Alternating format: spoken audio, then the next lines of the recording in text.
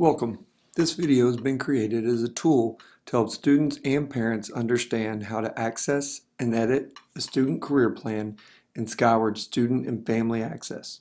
Let's get started. Let's begin by discussing what a career plan is and isn't. A Skyward Career Plan is an opportunity for your student to map out what their four years in high school may look like. It gives them an opportunity to figure out how all the courses they are required to take and the courses they would like to take work together within a four-year plan. It is not your student choosing what they would like to do for the rest of their life. Instead, view this as an opportunity to begin discussions of what they may be interested in and searching out ways to explore those careers and fields through electives offered at their high school. It is also important to know that the career plan is fluid, and parents and students should not be surprised when changes are required. We will discuss in more detail how those changes can be made later on in this video. First, it is important to know that both parents and students have the ability to access career plans in Skyward. However, plans can only be edited through the student account. If you're wanting to make a change to a plan, you must log in through the student account and not the parent account. To access the career plan, you'll log into Skyward Access and click on the Career Plans link from the menu on the left. If this is the first time for you or your student to access the career plan, you may get a pop-up like the one on the screen. This pop-up is informing you of the option to begin your plan by selecting a template. Templates are set up as tools to help load your core classes quickly and all at once, as opposed to loading each course individually. We recommend trying to find the template that best fits your academic needs with the knowledge that you will be able to make adjustments to that template later on.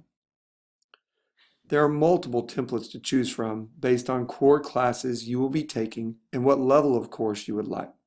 If you do not intend to take any advanced academic courses, including pre-AP, AP, or dual credit, you should choose the template titled On Level. You may also choose a template that includes all pre-AP and AP options or just advanced courses in a specific content. Once you have selected your template, you will be redirected to the career plan screen. Some features of the career plan to point out include that each column represents a school year, beginning with any courses taken prior to ninth grade on the far left. Notice the courses are listed with name and credit earned for the class. As we move to the right, we can see the courses the student is currently enrolled in for ninth grade and the courses that were preloaded using the on-level template. On the far right, you will see the graduation requirements, which updates as we edit the plan. Before moving on, I'm going to make the plan a little easier to view by clicking on the View Full Screen in the top right. There are a lot of ways to edit your plan, so let's begin by simply adding a class.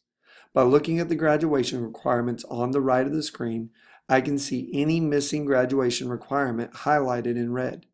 By clicking on the plus sign next to any missing requirement, and then selecting the grade level I would like to take that requirement from the drop down and clicking the Show Curriculum button, I get a list of courses that will meet that requirement. In this example, the student is currently enrolled in Spanish 1, so I would click either Spanish 2 or Spanish 2 Pre-AP to select it and then click Save. You can now see that Spanish 2 has been added to my plan and I'm no longer missing that requirement from my graduation requirements. As a side note, you may notice that there were some courses listed with a T in front of the course number on the left. These courses are transfer courses and not available to our students on our campus, but represent courses that students brought with them from other districts. You never want to select a course for your plan that has a T in front of the course number. Another way to add a course would be to add it from the Add Curriculum button at the top of each column. Let's say that I want to continue in the art program and would like to take Art 3 drawing next year. I can find that course by clicking the Add Curriculum button from here, I can search by typing the title of the course I am looking for in the search box and hitting enter. This brings up all the art classes, and I can find Art 3 Drawing and click Save.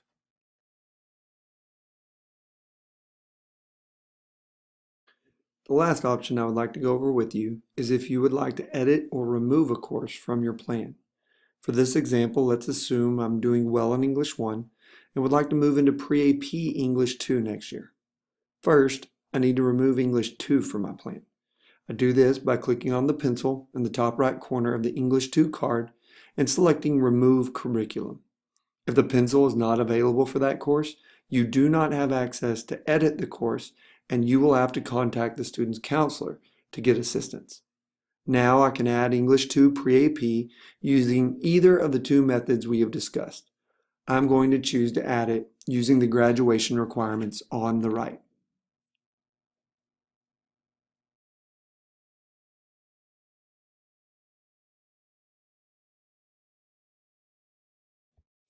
We want to ensure you that our school counselors will be meeting with students and checking every career plan. We will make sure all graduation requirements have been met and students are taking the necessary prerequisites to enroll in advanced elective courses. We hope you found this information helpful and let us know if you have any further questions.